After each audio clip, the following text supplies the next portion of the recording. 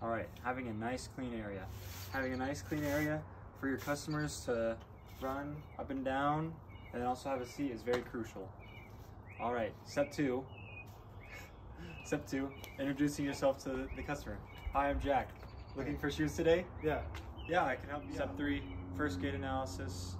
I'm gonna have you take off your shoes. Yep. And then what I'm gonna look for is your pronating or neutral. So feel free, come back here and just do a nice light, easy jog. This is step forward, making sure that you're going nice and out, easy, nice light jog. I'm gonna look for if you pronate or not. Get to the grass and back. Step five, he's coming back. Perfect. Now, communicating what I saw, step six. It looks like you're a pretty neutral runner, so I'm gonna stick with shoes that look similar to this. Um, just a nice standard trainer to start you with. All right, in the slow-mo, you can see in the shoe that there's a little bit extra movement that we don't want. Um, you can especially see it on this next step here, the right foot kind of creates a little angle with his ankle, again on his left foot. So that's the type of motion that we see a lot on the outside. Um, you don't really see it as much coming back. So I need to grab a more structured shoe for him for the next shoe to try on.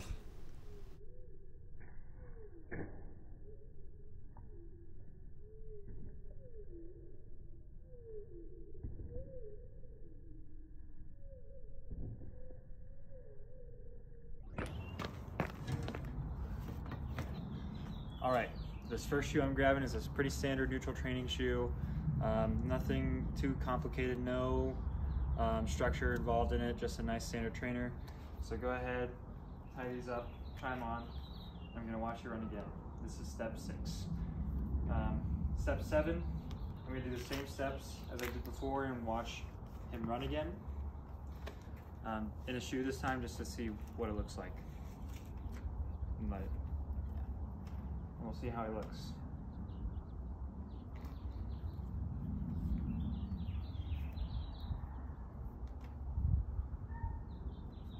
All right, cool.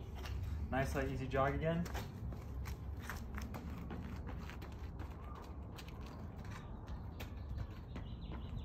Before you take those off, stand up back up and you can leave them on these. Just tap back your heels. This is step 10. Rule of thumb, making sure he has the right size on. Just stand straight up for me.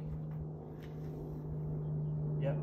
He's got that thumb width in between, so he has enough space for his feet to expand while he's running and such. Um, gonna let this plane go over us real quick.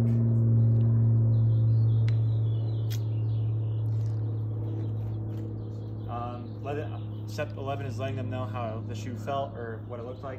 You look like you pronate a little bit while you're running in this shoe. Um, so I wouldn't really recommend this shoe just because you have a lot of movement, but I'll grab you some more options um, just so that you know what it feels like. Step 12, giving you more options. Um, but also, how did you feel in the shoe? Fine. Fine? Yeah. You like it? Eh, so we could grab some more options for them. All right, second pair of shoes for you. They have a little bit more corrective aspects, and I went over that earlier. So here's that for you. Try those on. I'm gonna have you do the same thing with just a second pair of shoes. Um, step 13. Cool. Same thing as process. Just having them do a nice, light, easy jog and watching them run.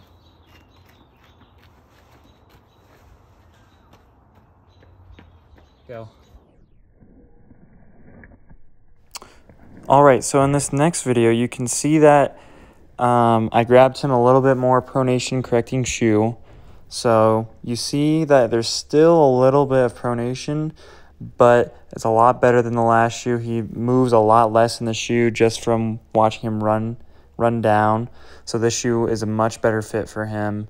Uh, I wouldn't recommend the other shoe over this one just because in the other slow-mo you can see that he does pronate a little bit more um, than I'm comfortable with and that he is probably comfortable with.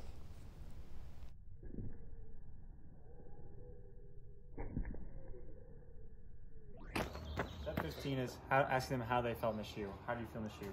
Uh, I felt the left shoe was better than the right shoe as my foot felt more tight in it. Nice. And one thing I forgot to do in the previous step, just remaking sure, having that thumb width in between the front, and he does. Um, usually you don't have to worry about that just because the shoe sizes tend to be the same across brands, but sometimes they do fluctuate, so it's always important to recheck that. And yeah, you looked a lot better. Step 15 is also making sure that they looked better or letting them know that their choice is probably the best. And because you looked the best in those shoes for sure. Um, you looked like you pronated on the right shoe a little bit, but on the left shoe he didn't. And um, we'll we'll do a little bit of slow mo to show that for sure. Cool.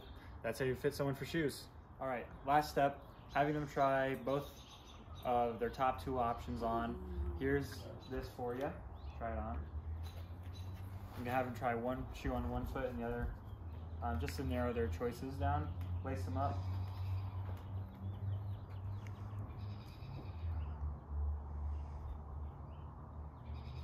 And um, Them do the same thing, but just with two different shoes, just to see which one looks better.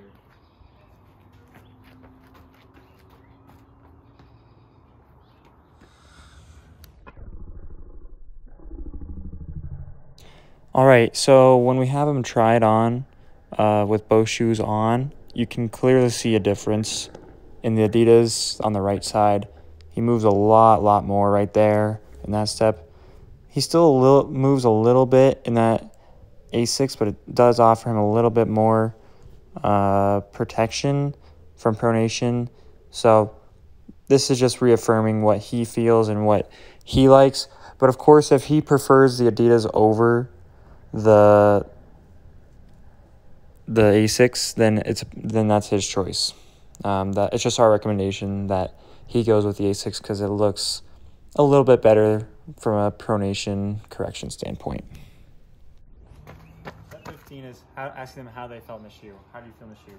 Uh, I felt the left shoe was better than the right shoe as my foot felt more tight in it. Nice. And one thing I forgot to do in the previous step, just remaking sure, having that thumb width in between the front, and he does. Um, usually you don't have to worry about that just because the shoe sizes tend to be the same across brands, but sometimes they do fluctuate, so it's always important to recheck that. And yeah, you looked a lot better. Step 15 is also making sure that they looked better or letting them know that their choice is probably the best. And because you looked the best in those shoes for sure, um, you looked like you pronated on the right shoe a little bit, but on the left shoe he didn't. And um, we'll we'll do a little bit of slow mo to show that for sure. Cool. That's how you fit someone for shoes.